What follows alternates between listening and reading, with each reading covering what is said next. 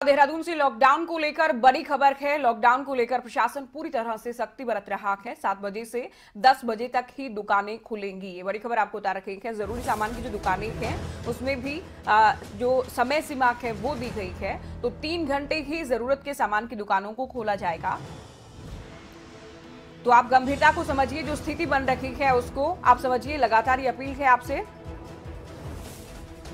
लगातार फैसले लिए जा रहे हैं। इससे पहले लॉकडाउन के दौरान ये कहा गया कि ज़रूरी सामान मिलता रहेगा, राशन की दुकानें भी खुली रहेंगी और मेडिकल की जो दुकानें हैं, स्वाभाविक तौर पर मेडिकल स्टोर जो हैं, वो भी खुले रखेंगे दमकल कर्मचारी। हालाँकि, या कह लें कि ज़रूरी जो सेवाएँ हैं, वो चलती रखेंगी लेकिन फ़िलहाल बड़ी खबर ये कि ज़रूरी सामान की दुकानों को भी तीन घंटे के लिए ही खोला जाएगा। भीड़ किसी भी सूरत में इकट्ठा ना हो। लोग भीड़ का हिस्सा ना बने घरों से।